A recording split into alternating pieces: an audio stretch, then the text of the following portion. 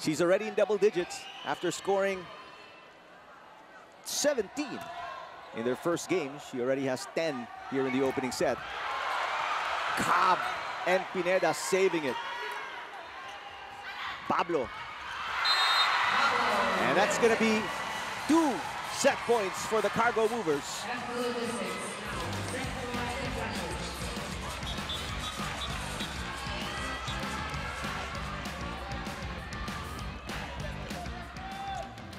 In their first game, serving for the set, Maraño, Cobb, Maraguinot,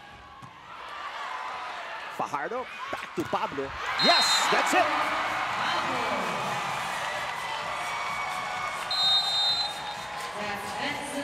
Myla Pablo with her third point. That goes off the hands of Michelle Cobb.